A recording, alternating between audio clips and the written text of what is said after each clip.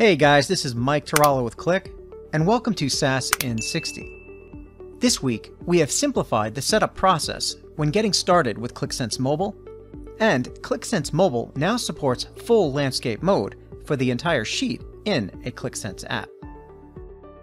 You can get started with Qlik Sense Mobile a few ways, either by using a computer or a mobile device. If logged into Qlik Cloud on a computer, access your account profile and click the Qlik Sense Mobile link in the left-hand menu.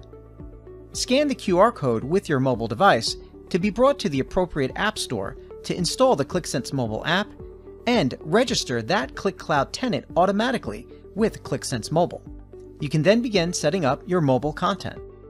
If using a browser on a mobile device to access Qlik Cloud, you will see a purple banner across the top, or from your account profile, simply tap the appropriate button for your device to achieve the same download and tenant registration process. Qlik Sense Mobile now supports Qlik Sense Sheets in native landscape mode.